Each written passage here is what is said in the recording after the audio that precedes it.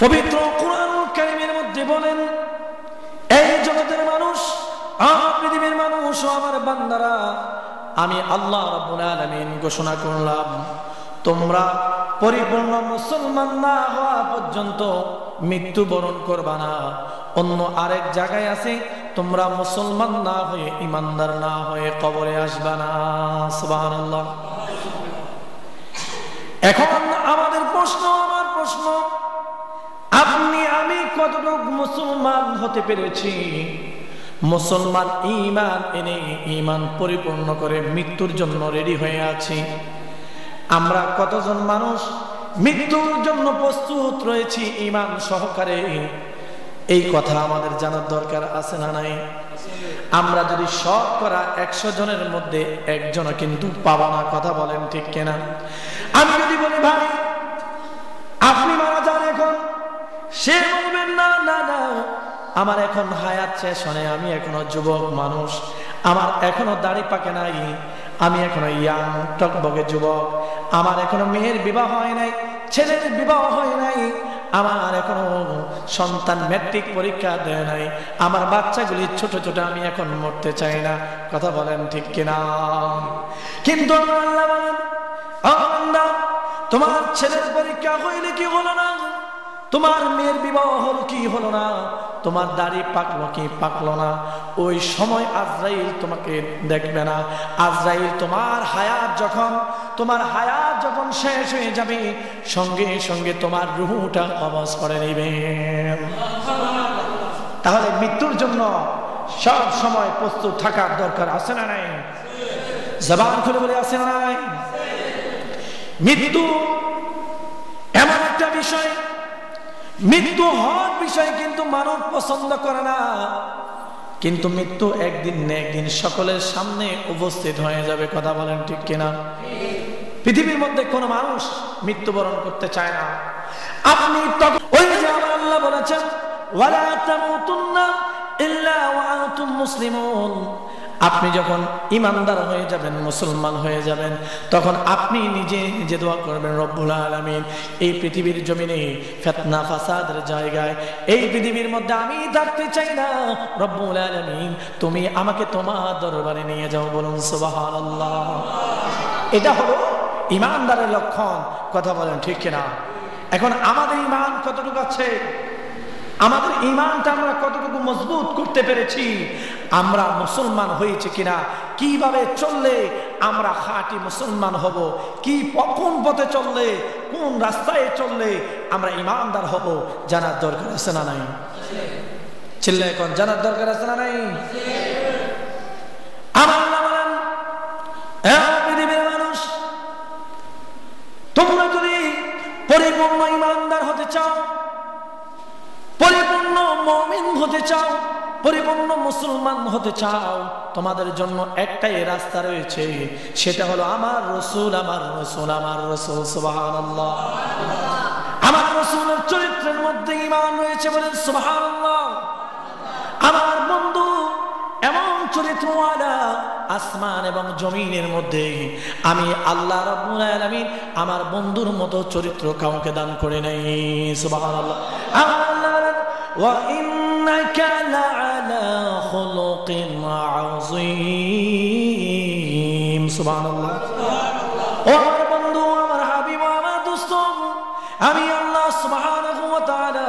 আপনার চরিত্র এমন উত্তম দিয়েছি, এমন উচ্চ মানের দিয়েছি।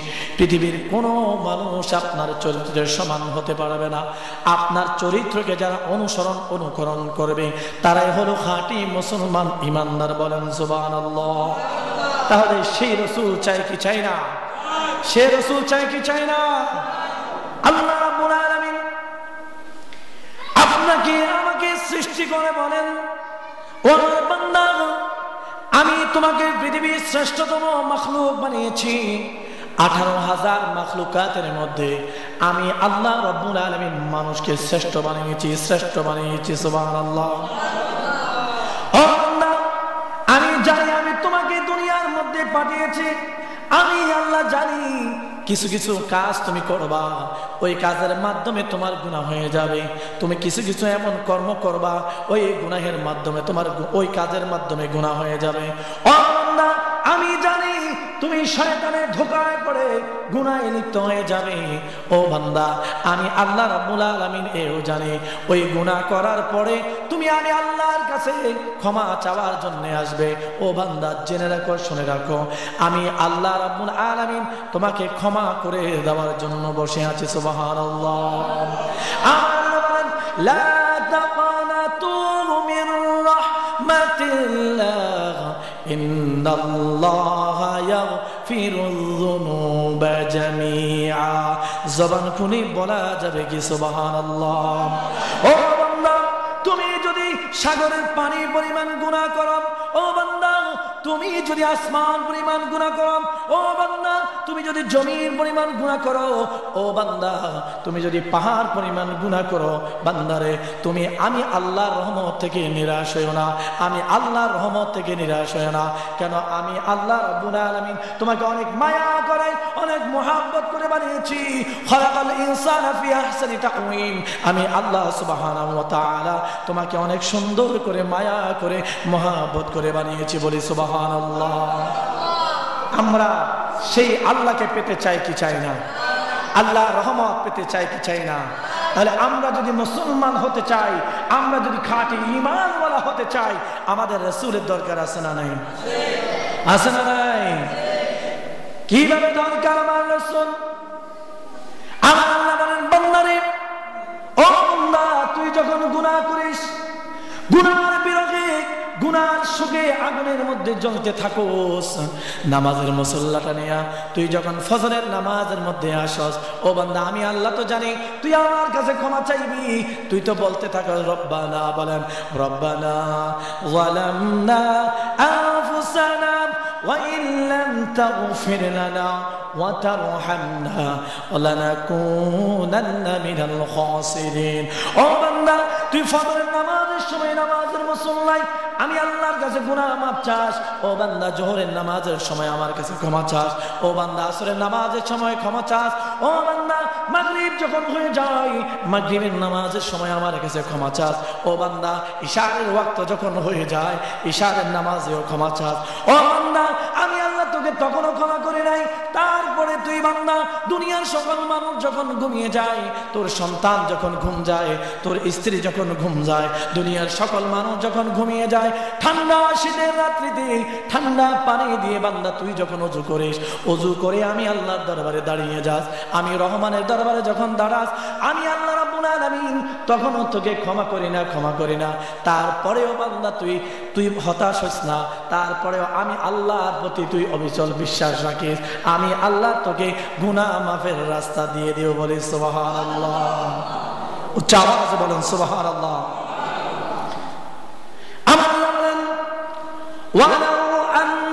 বলেন যালামু আনফুসাহুম জাউকা সুবহানাল্লাহ ও বান্দা তাহাজ্জুদ নামাজ পড়ো তাহাজ্জুদ নামাজ পড়ার পরেও তোর গুনাহ মাফ হয় নাই। পাঁচ ওয়াক্ত নামাজ পড়ার পরেও যদি তোর গুনাহ মাফ না হয়, আমি আল্লাহ রাব্বুল আলামিন তোর জন্য এমন একটি দরজা খোলা রেখেছি। ওই দরজা যদি তুই নক করস, ও বান্দা, ওই দরজাতে যদি তুই যাস, আমি আল্লাহ তোর জীবনের সমস্ত গুণাগুলি মাফ করে দেবো বলি সুবহানাল্লাহ। সেই দরজাটার নাম কি বলেন তো?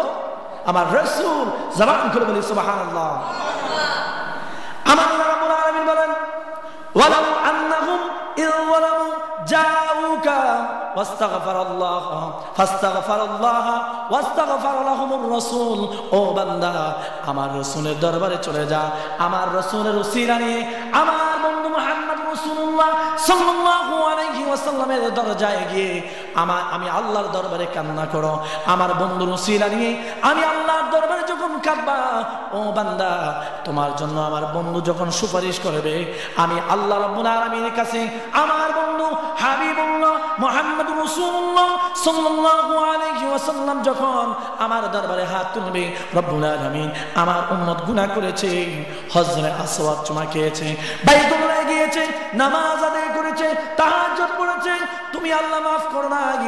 ও আল্লাহ, আমার এই গুনাহগার উম্মত তোমার বান্দা, তোমার গোলাম। আমি মোহাম্মদ রাসূলুল্লাহ সাল্লাল্লাহু আলাইহি ওয়াসাল্লামের দরবারে এসেছে। আল্লাহ গো, আমার এই গুনাহগার উম্মতকে তুমি আল্লাহ মাফ করে দাও। আমার আল্লাহ বলবে, ও বন্ধু, আপনি কি বলেন? আপনার জন্য আমি আল্লাহ রাব্বুল আলামিন এই আসমান বানিয়েছি, জমিন বানিয়েছি। সুবহানাল্লাহ বলবেন না। আল্লাহ বলেন, ও বন্ধু, আপনার জন্য আসমান বানিয়েছি জমিন বানিয়েছি, আর সকুশি লোহ কলম। আমি আল্লাহ রাব্বুল আলামিন আপনার প্রেমে বানিয়েছি বলি, সুবহানাল্লাহ। জবান খুলে বলি, সুবহানাল্লাহ। আল্লাহ বলবেন, বন্ধু, আপনি হাত তোলার দরকার আপনি যেহেতু আপনার গুণাগার উন্মতের জন্য আমি আল্লাহর কাছে দোয়া করেছেন, ও বন্ধু আপনি জানেননি, আপনাকে আমি কত ভালোবাসি, ও বন্ধু আমি আপনাকে কত ভালোবাসি, আপনি জানেননি, ওই খানে কাবার মধ্যে যে হজরে আসোয়াদ নামক পাথর রয়েছে, ওই পাথরের গুণ আপনি জানেননি গুণবী আমার নই বলে না, ইয়া আল্লাহ রব্বুল আলমিন, এই পাথরের কেন সম্মান আপনি বাড়িয়ে দিলেন? এই পাথরের মধ্যে মানুষ চুমা দিলে গুণা মাফ হয়ে যায়। আমার চুমা দেওয়ার কারণে জীবনের গুণা মাফ হয়ে যায়। এটা তো আমি আল্লাহ ঘোষণা করেছি, এটার কারণ কি জানেননি? ও বন্ধু, এটার কারণ হলো যে পৃথিবীর মধ্যে কোনো পাথর নাই, এমন কোনো পাথর নাই, সিলেটের জমিনের মধ্যে পাথর আসে না নাই? কথা কয় না আসে না নাই? কক্সবাজারে পাথর আসে না নাই? খাগড়াছড়িতে পাথর আসে না নাই? সারা পৃথিবীর মধ্যে অনেক জায়গায় বড় বড় পাথর রয়েছে। ও বন্ধু, ওই পাথরের মধ্যে চুমা দিলে গুণা মাফ হয় না। এটার কারণ হলো, এটার কারণ হলো, ওই পাথরের মধ্যে আপনি নবীর কদম লাগে নাই, আপনি নবী চুম্বন করেন নাই। কিন্তু হজরে আসওয়াদ এমন একটি পাথর সেই পাথরের মধ্যে আপনি নবী চুম্বন দিয়েছেন, ওই চুম্বনের কারণে আমি ওই পাথরের সম্মান, ওই পাথরের ইজ্জত, ওই পাথরের দাম আমি আল্লাহ এত বাড়িয়ে দিয়েছি। পৃথিবীর সকল মুসলমান যদি ওই পাথরের মধ্যে এসে একবার চুমু খেতে পারে, আমি আল্লাহ রব্বুল আলমিন, ওই মুসলমান, ওই আমার বান্দা গোলামের জীবনের সমস্ত গুণাগুলি মাফ করে দেয় আমরা ওই পাথর চুমু দিতে চাই কি চাই না? জবান খুলে বলি, চাই কি চাই না? বন্ধু গভীর মনোযোগ। আল্লাহ রাব্বুল আলামিন বলেন, ও আমার হাবিব, ও আমার বন্ধু, ও আমার দোস্ত, আপনি জানেননি, শুধু পাথর নয় পাথর নয়, আপনার মহাব্বতে আপনাকে ভালোবেসে আসমানের চন্দ্রকে আমি আল্লাহ দ্বিখণ্ডিত করে দিয়েছি বলেন সুবাহান আল্লাহ ঠিক কিনা?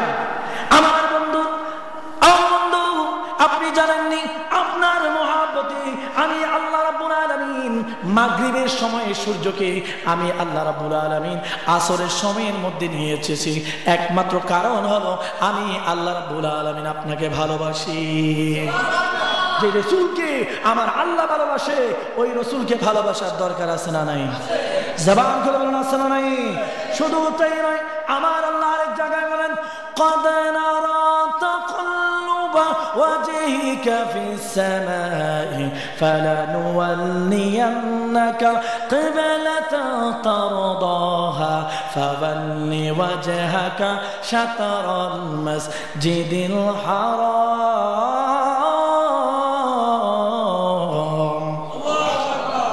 জোরে বলেন আল্লাহ একবার বলুন না ইয়া রসুল আল্লাহ বলুন না ইয়া হাবিব আল্লাহ আমার রসুল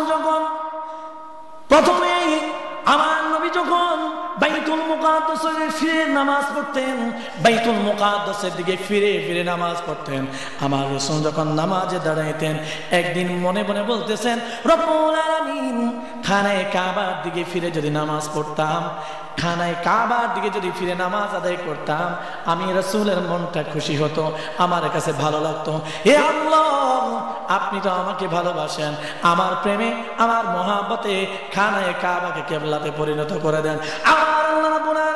সঙ্গে সঙ্গে তিনার বন্ধুর খাতিরে, তিনার বন্ধুর মহাব্বতে কেবলা পরিবর্তন করে দিলেন। শুধু কেবল করে দিয়েছেন, সুবহানাল্লাহ।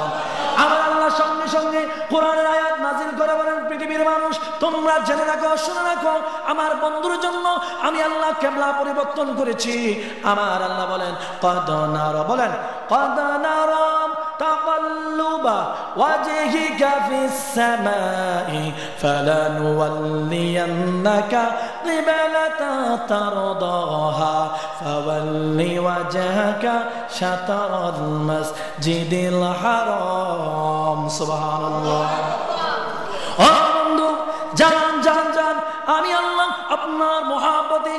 আপনাকে মায়া করে, আপনাকে মহাপত করে, আপনাকে ভালোবেসে আজকে থেকে কেমন পর্যন্ত আমি আল্লাহ রবুল আলমিন খানা কাবাকে সকল মুসলমানের জন্য কেবলা বানিয়ে দিলাম। উচ্চ আওয়াজে বলা যাবে কি তাহলে গুণা মাফ করার জন্য আমার রসুলের দরবারে যাওয়ার দরকার আছে না নাই? কথা বলেন, যাওয়ার দরকার আছে না নাই? আমার রসুলের কাছে আপনি যদি যেতে পারেন আমার আল্লাহ বলেন, হজরে আসওয়াদ চুমা দেওয়ার পরেও যদি তোমার গুনাহ মাফ না হয়, আমার বন্ধু মোহাম্মদ রসুল্লাহ সাল্লাল্লাহু আলাইহি ওয়াসাল্লাম যদি তোমার জন্য একবার সুপারিশ করে, আমি আল্লাহ, আমার জাতের কসম, আমি আমার বান্দার জীবনের সমস্ত গুণাগুলি মাফ করে দিয়ে তাকে মাসুম বানিয়ে দিয়ে বলি, সুবহানাল্লাহ। আমরা সেই রসুল চাই কি চাই না? কবরের রসুল চাই কি চাই না? হাসরের রসুল চাই কি চাই না? মিজানের রসুল চাই কি চাই না? আপনাকে যদি এখন প্রশ্ন করা হয়, আপনাকে একটা ফ্রি ভিসা দেওয়া হবে। একবারে প্লেন ভাড়া সহকারে আপনাদের কাছে প্রশ্ন করি প্লেন ভাড়া সমস্ত কিছু যদি আপনাদেরকে টিকিটটা ধরে দেওয়া হয়, আপনাকে যদি বলা হয়, আপনি এখন কোন দেশে যাবেন? আমি শুনতে চাই, আপনারা কোন দেশে যাবেন? একজন। বলেন, আপনি বলেন। মক্কা শরীফ দুইজন আর বলেন? মক্কা শরীফ মদিনাতুল মোনাওয়ালা সকলে বলেন, মারহাবা। এই জন্য শায়ের লিখলেন, লন্ডনে, প্যারিসে, ওয়াশিংটন, বার্লিন যেতে চাই না। মারহাবা বলেন। এটা আপনাদেরই কথা। লন্ডনে, প্যারিস, ওয়াশিংটন, বার্লিন যেতে চাই না। আরে হংকং এ বেজিং টোকিও সিঙ্গাপুর চাইনা আরে মন আমার যেতে চায় এই দুনিয়ায়। ঠিক না? আরে মন আমার যেতে চায় এই দুনিয়ায়। একটি জায়গায়, সেই জায়গাটির নাম হলো সোনার মাদি আর সেই জায়গাটির নাম হলো যারা যারা মাদিনা যেতে চান, তারা বলবেন, সেই জায়গাটির নাম হলো সেই জায়গাটির নাম হলো লন্ডনে, প্যারিস, ওয়াশিংটন, বার্লিন যেতে চাই না, হংকং এ বেজিং, টোকিও, সিঙ্গাপুর। মন আমার যেতে চায় এই দুনিয়ায় মন আমার যেতে চাই এই দুনিয়া। একটি জায়গায়, সেই জায়গাটির নাম হলো জোরে, ও সেই জায়গাটির নাম হলো ও সোনার মেদিনা, আমার প্রাণের মেদিনা। সোনার সেই জায়গাটির নাম হলো সেই জায়গাটির নাম হলো সেই জায়গাটির নাম হলো সোনার মাদিনায় গেলে গুনা মাফ হয় কি হয় না? অনেক ব্যাপক রসুল আছে, তারা বলে হজ করে চলে আসলে হবে, মাদিনাতুল মোনাওয়ারা যাওয়ার দরকার নাই বলেন নওয়াজুবিল্লাহ নিশ্চয় সেই বেঈমান ইমান হারা, যেখানে আমার আল্লাহ বলেছেন, ওয়ালাউ আন্নাহুম ইল যালামু আনফুসাহুম জাউকা আমার বন্ধুর কাছে যাও, আমার বন্ধুর কাছে গিয়ে তওবা করো। আমি আল্লাহ তোমার তওবা কবুল করব, তোমার জীবনের গুনাহ মাফ করে দেব। সমস্ত তাফসীরের কিতাবের মধ্যে এই আয়াতের ব্যাখ্যায় এসেছে, আমার বন্ধু যখন দোয়া করে আমি আল্লাহ দোয়া ফিরিয়ে দেই নাই। উচ্চ আওয়াজে বলেন সুবাহান আল্লাহ আরে সিঙ্গাপুরে যায় অনেকে, বিমারি হলে। যায় কি যায় না? সিঙ্গাপুরে যায় অনেক বড় বড় লোক, তারা সিঙ্গাপুরে যায়। কিসের জন্য? চিকিৎসার জন্য। কিন্তু শায়ের বলতেছে, সিঙ্গাপুরে যায় অনেকে বিমারি হলে। ভালো সেবা আর ভালো ঔষধ মিলে ঠিক কিনা? কিন্তু হাদিস শরীফে এসেছে, খাকে সেবা পাওয়া যায় নবীর দরবারে। সর্বরোগের চিকিৎসা সেটির ভিতরে রোগের সেবা পেতে চলো সোনার মেদি রোগের সেবা সোনার মেদি সোনার মেদিনা, আমার প্রাণের মেদিনা।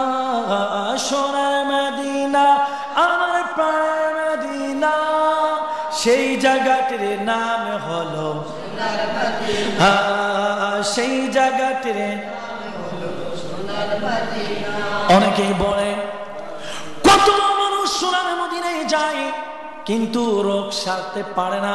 আমি বলব, বোখারের প্রথম হাদিস প্রথম হাদিস, ইন্নামাল আমালু বিন্নিয়াত নিয়ত পরিষ্কার করে যাও। আমার রসুলকে মনে প্রাণে, জীবনের চাইতে মহাব্বত করে এই নিয়তে যদি তুমি আমার রসুল্লাহর দরবারে চলে যাও, খোদাকে কসম, আমার রসুলের উসিলায় আমার আল্লাহ রব্বুল আলামিন তোমার সমস্ত রোগ বেদনাগুলি ভালো করে দিবে নিয়তটা কলবটা পরিষ্কার রাখতে হবে। কলবের মধ্যে ময়লা নিয়ে গেলে, কলবের মধ্যে যদি অহংকার রিয়া নিয়ে যান, আপনি রোগ ভালো হলে আবার আপনার আগের শয়তানিগুলি শুরু করে দিবেন। তাহলে আপনি রোগ ভালো হবে না। তাহলে আমার কথা হলো, বন্ধুরা, আল্লাহ তাআলা বলেছেন, ওয়ালা তামুতুন্না ইল্লা ওয়া আনতুম মুসলিমুন। তোমরা মুসলমান না হয়ে কবরে আসবে? কবরে আসবে? সেই তো মুসলমান। সেই তো মুসলমান যে হজ করে সোবাহান আল্লাহ সেই তো মুসলমান যে নামাজ পড়ে সে তো মুসলমান যে জাকাত দেয় সেই তো মুসলমান পরের হক লুণ্ঠন করে না সেই তো মুসলমান মানুষের ক্ষতি করে না সেই তো মুসলমান আমার নবীর শানে মহাব্বত করে আমার নবীকে জানার চাই তো মহাব্বত করে সেই তো মুসলমান যে মিথ্যা বলে না সেই তো মুসলমান যে চুরি করে না সেই তো মুসলমান যে সুদ খায় না সেই তো মুসলমান সে ঘুষ খায় না সেই তো মুসলমান সে রোজা রাখে সেই তো প্রকৃত মুসলমান, যার হাত এবং মুখ দ্বারা, অঙ্গ পতঙ্গ দ্বারা অপর মুসলমান ক্ষতিগ্রস্ত হয় না। কথা বলেন ঠিক কিনা? তাহলে আমরা সেই ইমানদার মুসলমান হয়ে মৃত্যুবরণ করতে রাজি আসি না নাই? হাত তুলে দেখেন কারা কারা ইমানদার হয়ে মরতে চান। আল্লাহ তালা আমাদের প্রত্যেককে কবুল আর মঞ্জুর করুন সকলে বলে আমিন। যাদের শূন্য বাকি আছে পড়ুন, যারা পড়েছেন দুরুশরী পড়তে থাকুন। আসসালামু আলাইকুম রহমতুল্লাহ আবার